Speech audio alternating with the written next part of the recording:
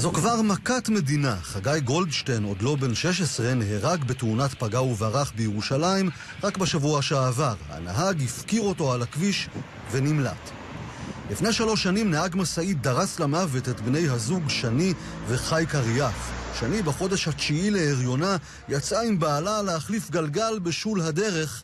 נהג המשאית אפילו לא עצר. אם הוא היה עוצר, אפילו לשנייה אחת, היה עוצר, ורואה מה קרה שם באותו רגע שהוא דרס אותם, יכול להיות שהבן שלו עוד היה בחיים. אין כמעט יום שלא שומעים על תאונות פגע וברח, תאונות שבהן הנהג הפוגע מסתלק ממקום התאונה מבלי להגיש עזרה או להזעיק את כוחות ההצלה.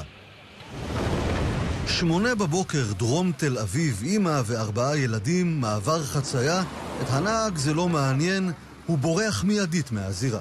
ברגע שהייתם מעורבים בתאונות דרכים, קודם כל תעצרו בצד, תזעיקו עזרה ותגישו עזרה לפצוע לעיתים, זה יכול לעשות את ההבדל בין חיים ומוות. כמעט אלף בני אדם נפגעו בתאונות פגע וברח רק בשנה החולפת, יותר משני בני אדם שנפצעים בממוצע בכל יום. כך עולה מנתוני עמותת אור ירוק. בכל יום שתי תאונות פגע וברח בהם נהגים מפקירים את האזרחים להתבוסס בדמם בכבישים.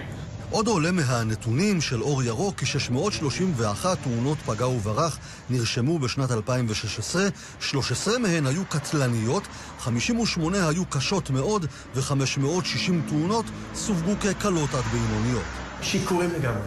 מסטולים, עולים לכביש, רוצחים בדם קר, אני קורא לזה רצח, זה לא פגיעה, רוצחים בדם קר ומשחררים אותם. זה כמו רצח, זה כמו קום באדם רוצח. בבדיקה שערכה עמותת אור ירוק עולה כי ב-71 פסקי דין שעסקו בתאונות פגע וברח, נגזר עונש ממוצע של שנתיים ושבעה חודשים, וקנס כספי, שימו לב, של 2,179 שקלים.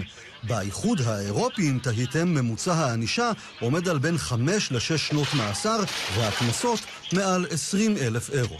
החוק מתיר להם 14 שנות מאסר, בפועל אנחנו עדים לשנתיים ושבעה חודשים בפועל.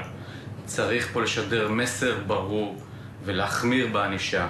לאור הנתונים, כנראה שהגיע הזמן שהמדינה תתערב בענישת מינימום כדי שהתופעה הזאת, שהפכה למגפה, אולי תיעלם.